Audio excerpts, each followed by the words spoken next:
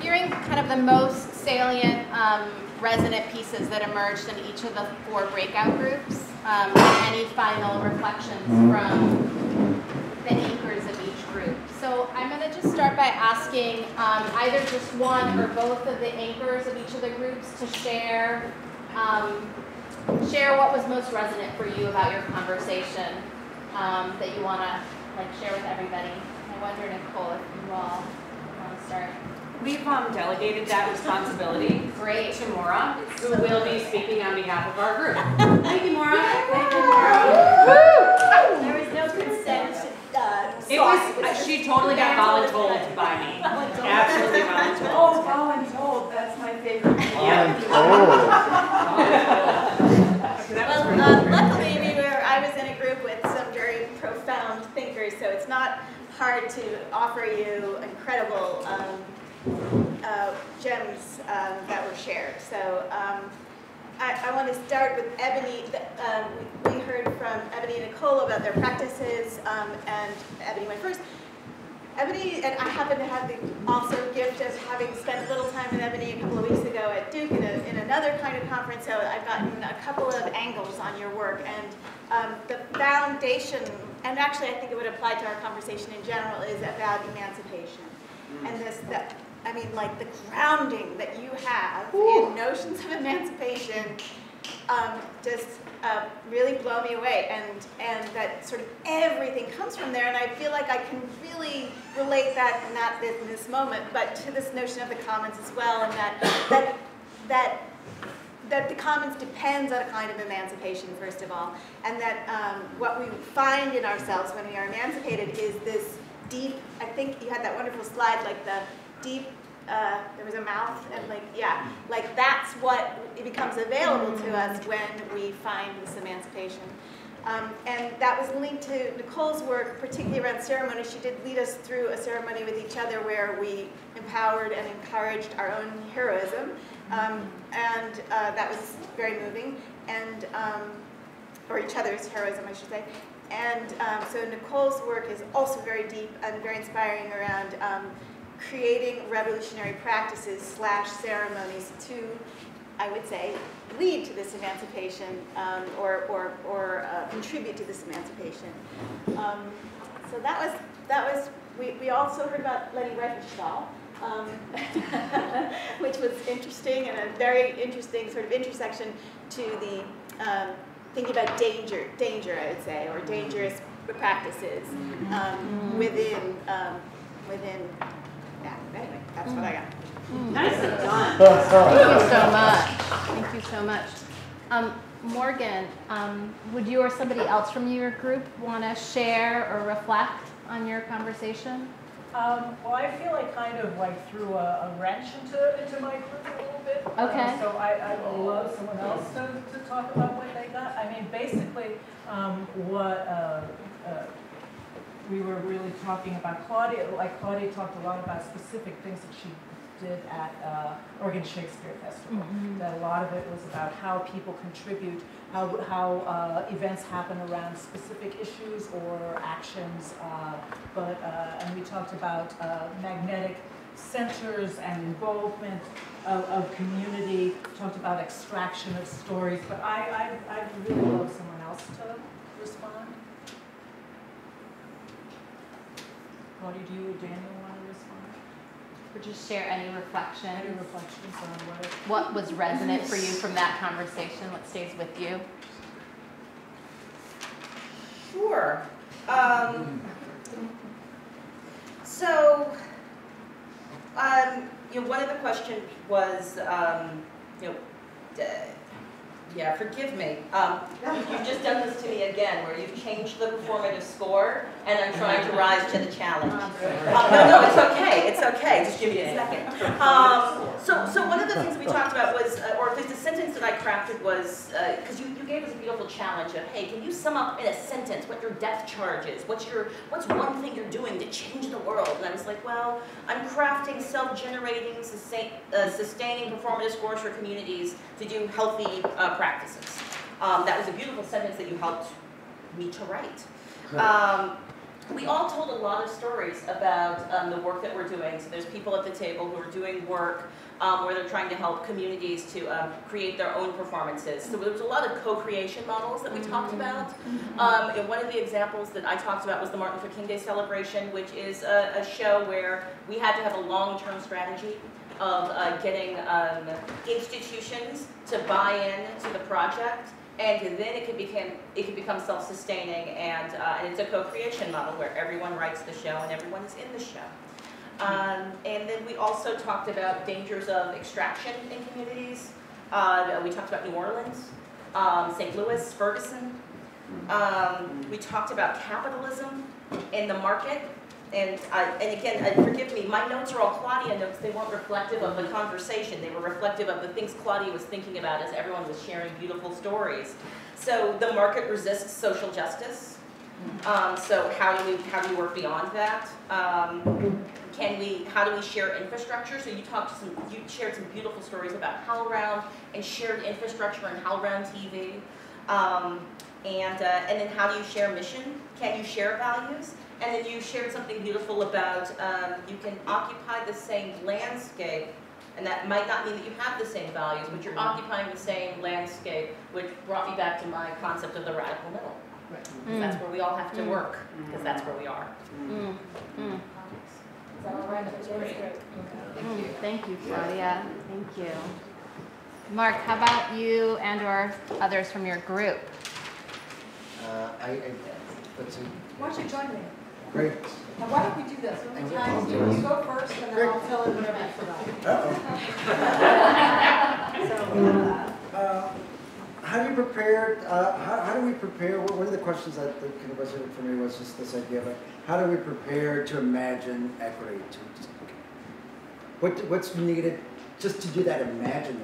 And, and, you know, obviously it's something, you know, is a big, uh, there's a kind of privilege that lets you imagine.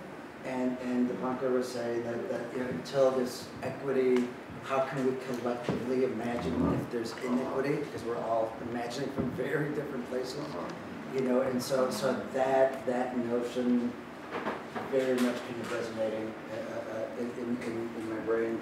Uh, one of the other things that, that we noted here was, uh, neighborhood conversations and, uh, local transformation. How do we just start to transform kind of on local levels, either through of a community conversation that can happen pretty informally, that just gets people talking together, but, but something about grounding first in a, in a local neighborhood place.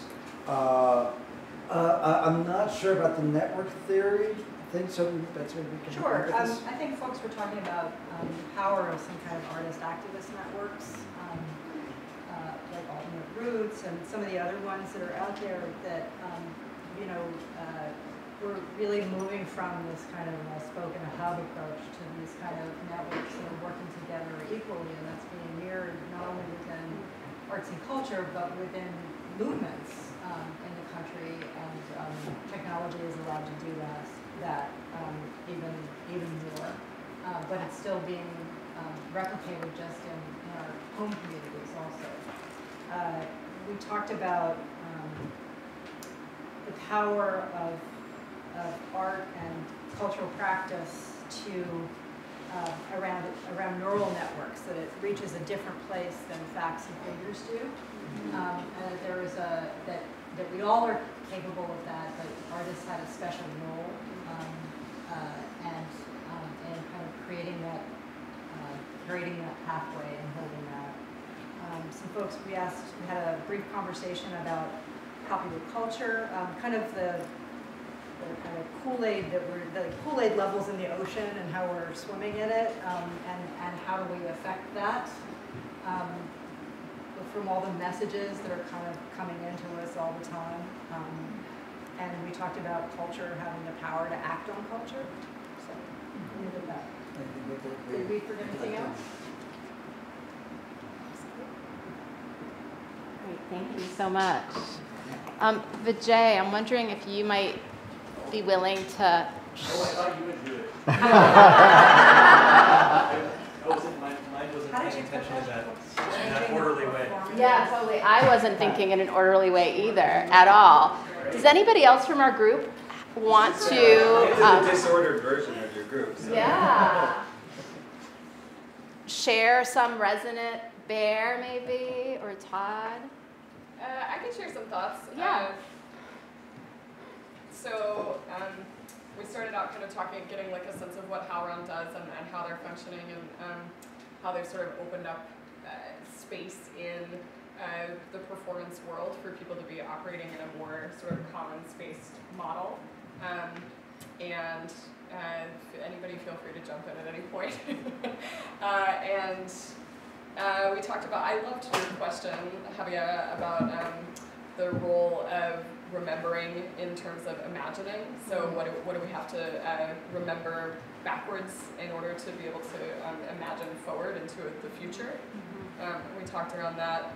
We kind of talked on all kinds of different things. Those are the things that are sticking with me right now. Yeah, and you also shared some about the project you're working on, which, do you, do you want to just say, Sure, yeah. just so name it so that people can ask you Is that about about it? the Dykbar project? Mhm. Yeah, so I talked a little bit about the Dykbar project, which is the oral history and theater project happening in New Orleans, where um, after the last lesbian bar in New Orleans closed a few years ago, we started taking oral histories of um, the people who had sort of come of age in those spaces. And um, so it, it was just like really resonant with what you had shared about this, this idea of remembering in order to imagine. So going back and learning these queer histories that are often really sort of sublimated and um, underground and, and hidden for, you know, for, for good reason, but but often aren't sort of transmitted in the same way that like other lineages are. And so going back to learn that history in order to empower ourselves to be able to envision a, mm-hmm. a queer future mm-hmm. forward. Yeah. So Yeah. And I'd say we also spent a fair amount of time wrestling with what David had presented and the challenges really of of living in in capitalism and dealing with the market and the institutions we've inherited and trying to make you know make a way out of, of that and sort of really thinking about i mean you were sort of talk we talked some about the need to really create enough of an alternative that you're giving people an, a viable option for meeting their needs that is really separate from these institutions that are creating so much harm and damage. So you know we talked some about that and what those those might look like. Um, I think also Vijay, in sharing about HowlRound, really talked about how in creating this commons online, you've really begun to shift the culture of the theater community from one that at once was very, you know, competitive, um, to one that's much more collaborative and willing to share and um, and come together in, in new and different ways, which seemed really, really powerful and promising. I'd say for me, it was very inspiring. Right, that come up, came up with us too, the whole idea of like sharing resources and not being competitive, really sort of, you know, organizing around, not necessarily a shared value, but, you know, an intentionality that can embrace different approaches. Mm-hmm. Mm-hmm. Yeah.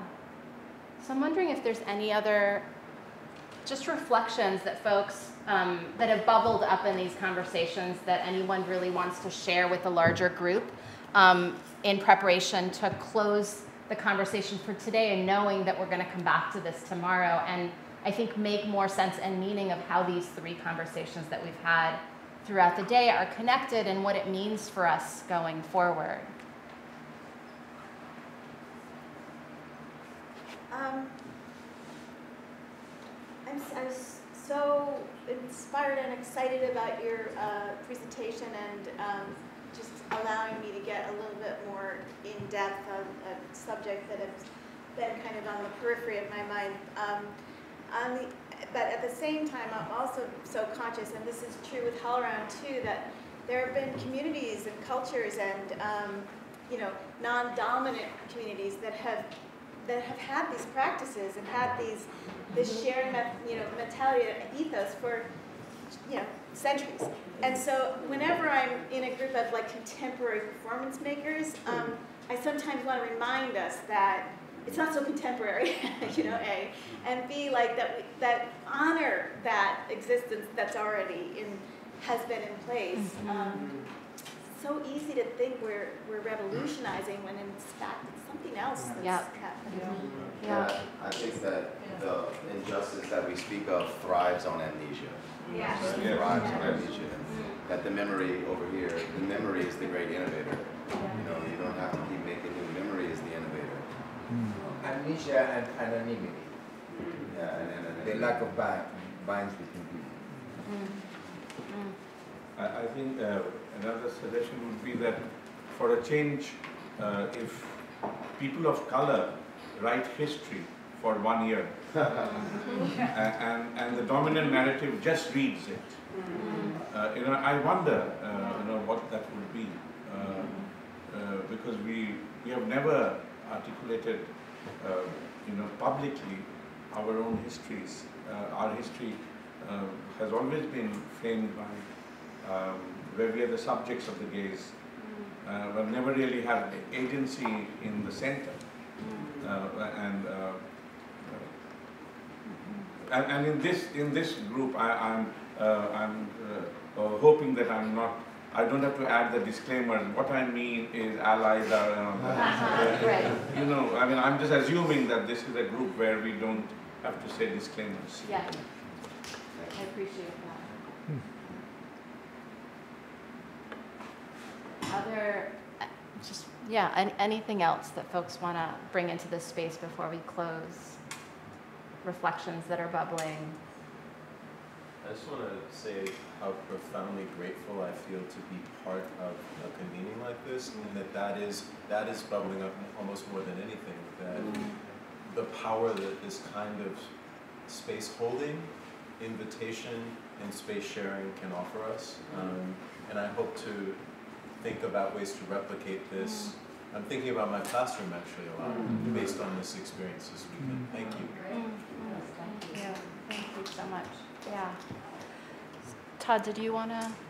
Oh, I don't know, I feel I talk so much. Um, I guess there's this sense that we were talking about in our group that I feel here too, in response to what Daniel said, is that there is a way in which, um,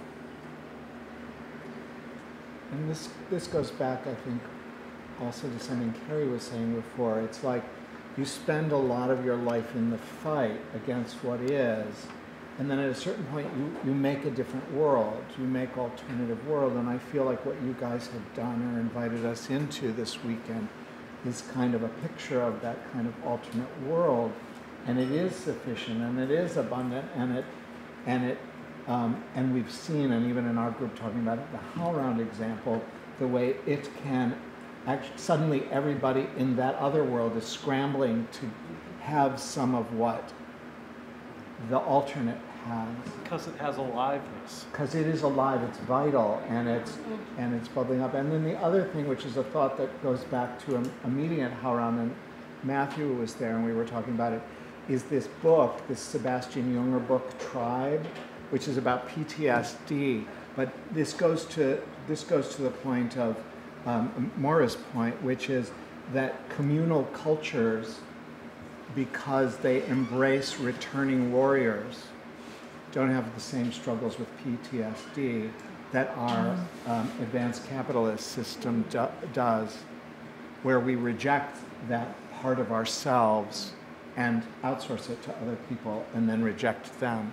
And so there is that thing that so it is that thing about the liberation of memory. It's like remembering who we are and where we come from is also a way of finding our own alternative systems that are even deeper than the present one, which is which is old and dominant, but not as old. Um, So I think with that, we're going to close. And um, Matthew, do you want to, do you want to instruct us or lead us? To say something about um, tonight and tomorrow and this transition time. Uh, and well, one thing that occurs to me from all three of these conversations and David's wonderful talk uh, that reaffirms the um, what's it called? The saying that the map is not the territory. well, with that in mind, I think that that there's something about tomorrow's conversation that has to do with what is the territory and what is the map, um, so that we can use both to our advantage in concrete ways as well.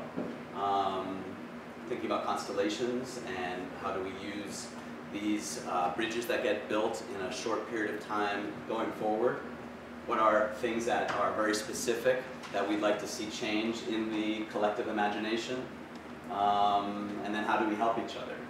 Uh, yes, that. Um, we're going to have a very quick transition now, um, and I need to ask that it be um, efficient, and I, I forgive the, that after this day, but it'll be helpful because we're trans transitioning to having our performance. So I know everyone can empathize a little bit, uh, or a lot of you can. Um, so uh, tonight uh, there's a dinner um, up the Ashfield Lake House.